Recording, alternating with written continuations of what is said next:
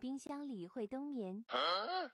现在把冰箱来打开，看看清道夫鱼怎么样了吧？好家伙，没想到清道夫已经完全结冰了。你们觉得这样真的能唤醒清道夫吗？先给清道夫鱼来点鱼缸的水，让冰块融化一会儿。拿上大铁盆来接点我家的地下泉水，准备唤醒清道夫鱼。冰块已经融化一点了，把冰块倒入准备好的大铁盆里，加速一下融化冰块吧。好家伙，清道夫鱼已经被完全冰封在里面了。我在想，这样真的能唤醒清道夫鱼吗？还是继续把冰块放入水里融化？让我们期待到底能不能唤醒清道夫鱼吧。这冰块放了好久了，怎么感觉都没有融化多少啊？还是把它放入鱼缸里加速一下融化吧。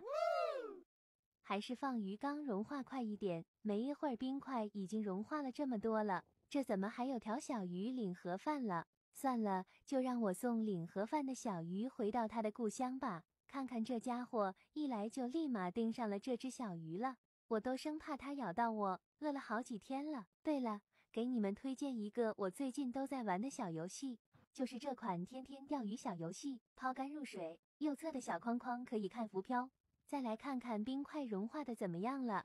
嗯，不错，冰块已经快融化完了。再把清道夫鱼放入大铁盆里，用上我单身三十年的手速，给它加速一下融化吧。看看冰块已经融化完了，不过清道夫鱼怎么一动不动的？这不会是领盒饭了吧？难道唤醒清道夫失败了？我感觉应该是还没有完全解冻。把清道夫鱼放在太阳底下晒一会儿，看看能不能唤醒它吧。晒了好几分钟了，来看看清道夫鱼怎么样了？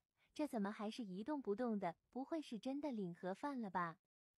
把清道夫鱼放入水里看看。好家伙，直接就漂在水里一动不动的。快醒醒，别睡了！